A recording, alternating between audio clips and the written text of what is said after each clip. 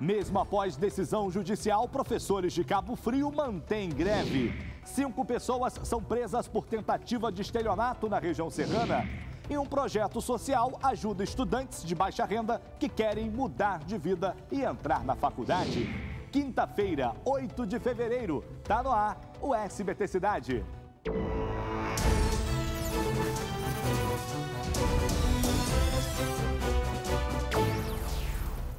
Olá, bem-vindo, bem-vinda ao nosso programa. Vamos juntos até encostarmos, até encontrarmos com o seu SBT Brasil, com os principais assuntos de todo o estado do Rio de Janeiro. E a gente começa com essa notícia aqui. O ministro do STF, Gilmar Mendes, determinou a soltura do ex-secretário de Saúde, Sérgio Cortes. A determinação foi dada hoje pela manhã. Acompanhe. Preso há cerca de 10 meses na cadeia pública José Frederico Marques, em Benfica, Sérgio Cortes tinha certeza que não ia ficar por muito tempo atrás das grades. Como revela essa mensagem flagrada durante as investigações. A conversa foi com o empresário de saúde Miguel Skin, um de seus companheiros de falcatruas.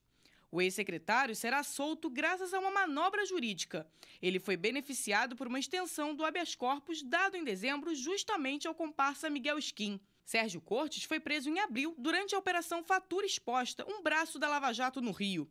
No mesmo dia, também foram para a cadeia Gustavo Estelita e Miguel Skin, sócios de uma empresa que fornecia próteses e outros equipamentos para a Secretaria de Saúde e para o INTO, instituto onde Sérgio Cortes foi diretor por quatro anos. Segundo as investigações, eles teriam participado de um esquema que desviou mais de 300 milhões de reais da área da saúde durante a gestão de Sérgio Cabral. A denúncia veio da delação premiada de César Romero, subsecretário de Saúde de Sérgio Cortes. Segundo ele, o ex-secretário já sabia que ia ser preso, retirou objetos de valor de casa e até agendou uma cirurgia como desculpa para se safar da cadeia. Não conseguiu, mas também não ficou por muito tempo atrás das grades. Exatamente como ele previa. Olha, esse Gilmar Mendes, ele tem que ser personagem principal das marchinhas de carnaval esse ano, gente é o cara que solta todo mundo, né? Ele tá lá só para soltar. Não é possível, cara. Não é possível. Eu vou te contar uma piada. E a demolição de três quiosques na Praia das Conchas, em Cabo Frio, está causando bastante polêmica. Por enquanto, somente os quiosques abandonados serão demolidos. Mas depois do carnaval, pode ir tudo para o chão. Os quiosqueiros estão preocupados com o futuro. A Bárbara Stork traz essa história agora para gente. Determinação partiu do INEA, o Instituto Estadual do Ambiente, e da SPU, Superintendência do Patrimônio da União. Os três quiosques da Praia das Conchas, em Cabo Frio, vão ser demolidos logo depois do carnaval. Mas os demais quiosqueiros não estão muito a favor disso e tirar um, meia dúzia ou três, como vai fazer, e deixar os outros, eu acho até injustiça com os três que vão sair. A confusão é antiga. Todos os quiosques estão irregulares por estarem localizados em uma área que pertence à União.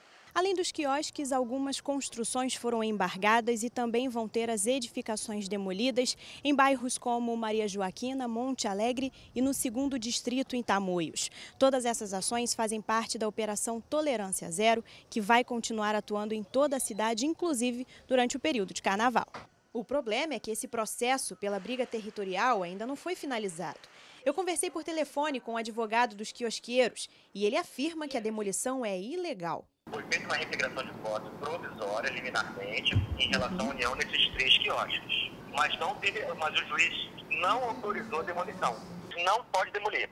E os questionamentos não param por aí. Apesar de irregulares, alguns quiosques possuem alvará da prefeitura e autorização do Corpo de Bombeiros para funcionar. Mas os quiosqueiros seguem preocupados e com medo de serem os próximos a verem seus negócios no chão. A gente não trabalha direito, né? Fica na expectativa de que hoje pode ir amanhã. E aí, por consequência disso, a gente não investe. Nossa produção entrou em contato com a Prefeitura de Cabo Frio e com a Superintendência do Patrimônio da União, mas não recebemos um retorno. Tudo bem que tem a questão ambiental, mas por que, que deixaram construir esses quiosques lá? Por que, que agora querem tirar o sustento dessas famílias que vivem desses quiosques? Por favor, deixe os caras trabalharem, deixe os pais de família, deixe essas pessoas aí venderem. Então, está funcionando, sempre teve. Vai criar problema agora? Você vai ver no próximo bloco: cinco pessoas foram presas após aplicarem golpes em bancos. Eu volto já.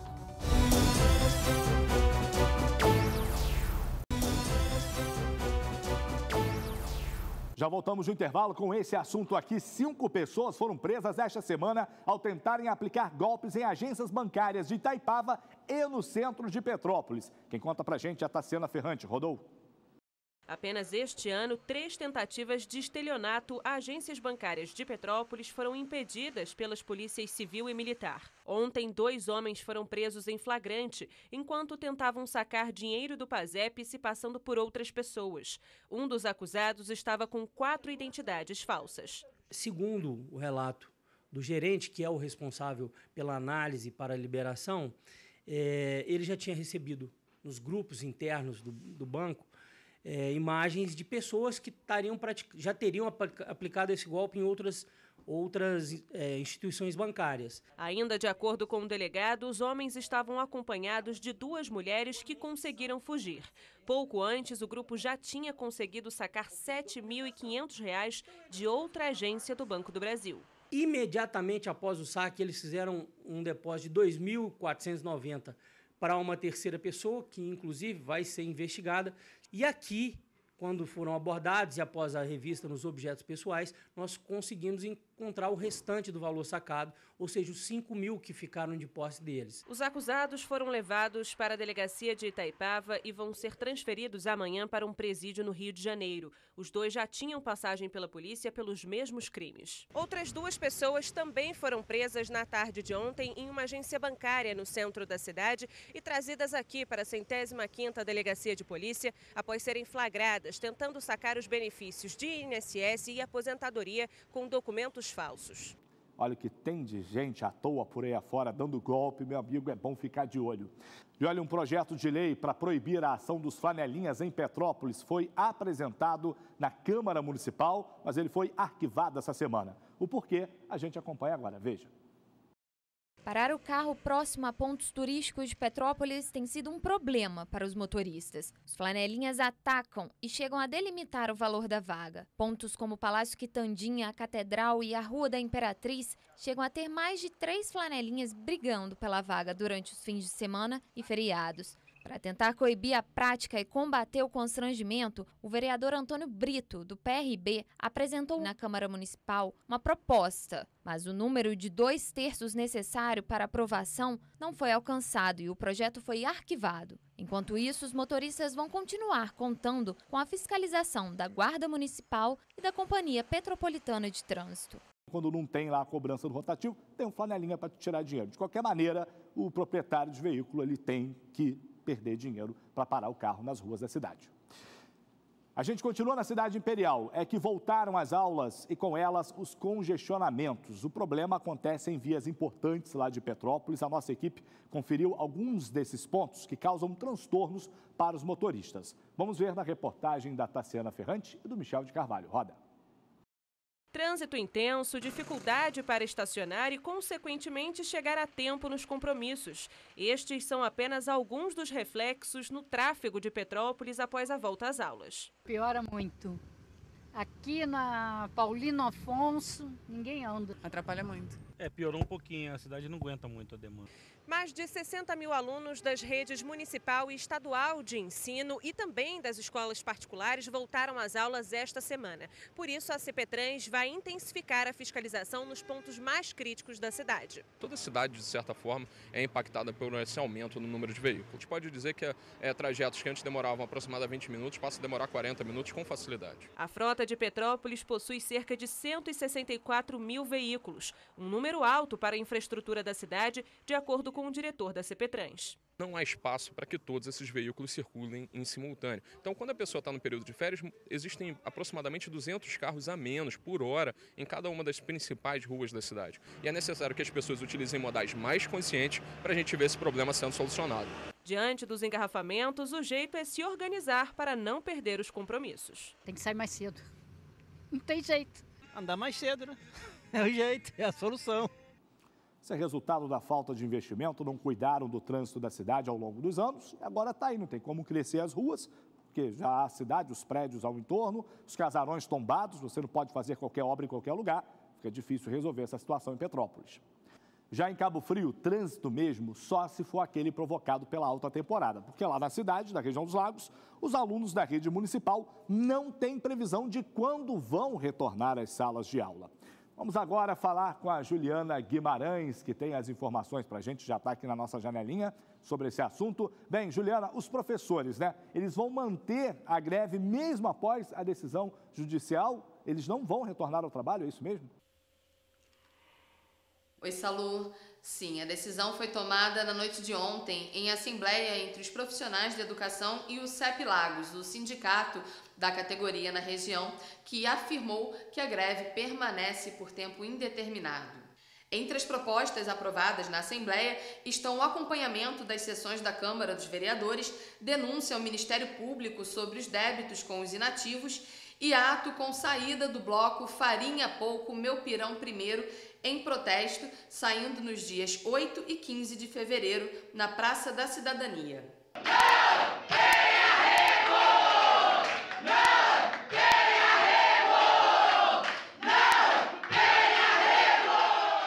A greve começou ainda no ano passado. Os profissionais reivindicam o acerto no pagamento de salários e 13º atrasados. Enquanto isso, as escolas permanecem sem aula. Nós tentamos contato com a Prefeitura de Cabo Frio sobre o assunto, mas não tivemos respostas. Salutial.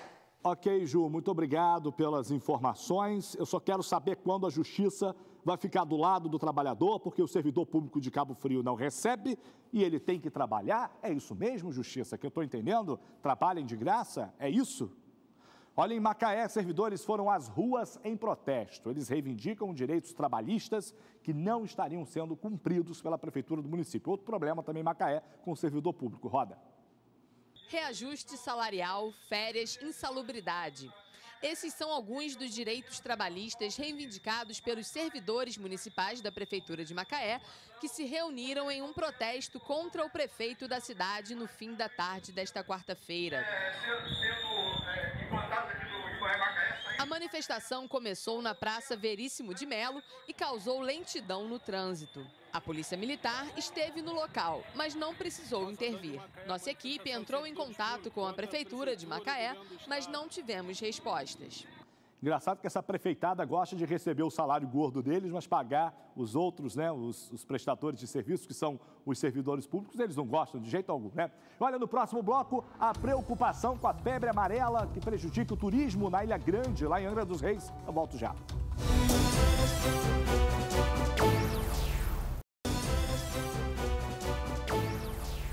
legal, estamos de volta. Vamos agora dar aquele giro nosso de todos os dias nos destaques das demais cidades do interior do estado. Acompanhe só.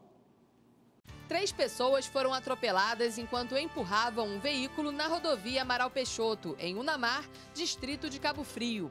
Elas foram atingidas por um carro que seguia na mesma direção e bateu com um ônibus que vinha no sentido oposto. Segundo testemunhas, o motorista do carro estava alcoolizado. Ele e as vítimas foram encaminhados para a UPA de Tamoios. Um menor foi apreendido pela Polícia Militar em Armação dos Búzios. Com ele foram encontrados 47 tabletes de maconha, 16 papelotes de crack e 29 pinos de cocaína. Houve tentativa de suborno dos policiais com 4 mil reais.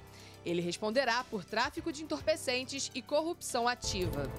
Três homens foram presos hoje em uma operação de combate ao tráfico de drogas em Paraíba do Sul.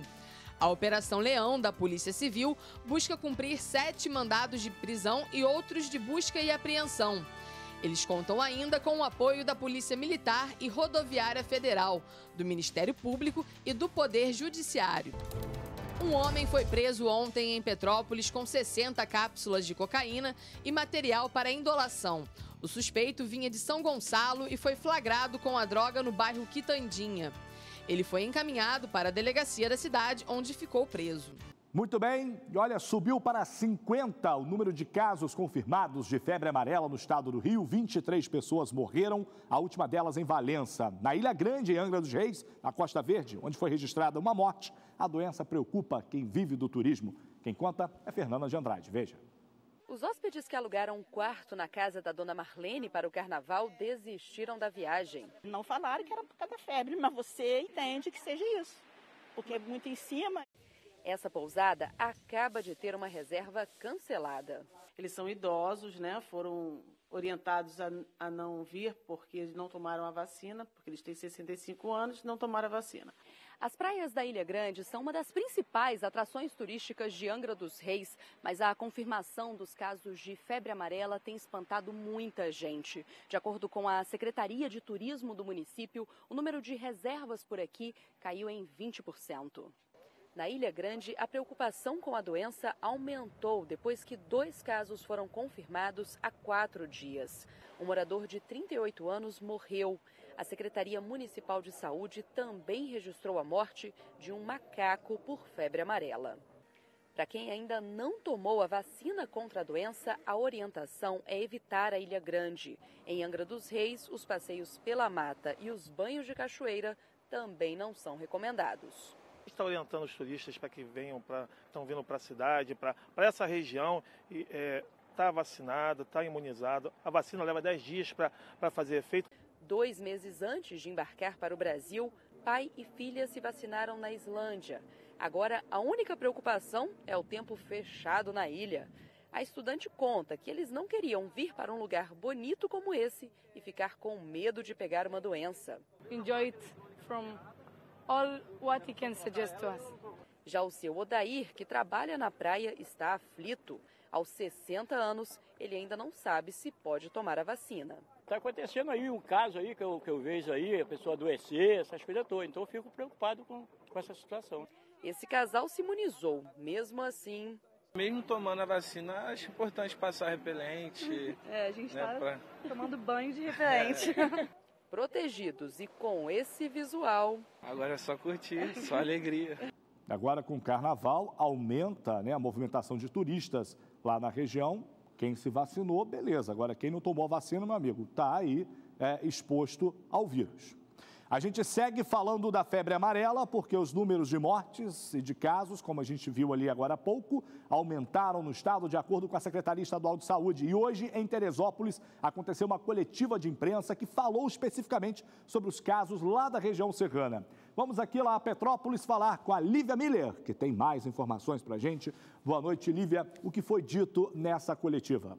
Boa noite, Salu. Boa noite a todos. Foi anunciado um plano de contingência ele vai funcionar como operação para identificar as pessoas que ainda não foram imunizadas lá em Teresópolis. Essa busca vai acontecer especialmente em áreas de riscos que têm maior concentração de matas, onde casos já foram registrados e macacos foram encontrados mortos. Outra novidade que começa a valer a partir dessa quarta-feira, após o carnaval, é um posto volante na Praça Baltazar da Silveira, que fica no centro de Teresópolis. Ele vai servir de ponto de imunização das 9 da manhã às 8 da noite. Teresópolis foi a cidade da região serrana que mais registrou mortes por febre amarela.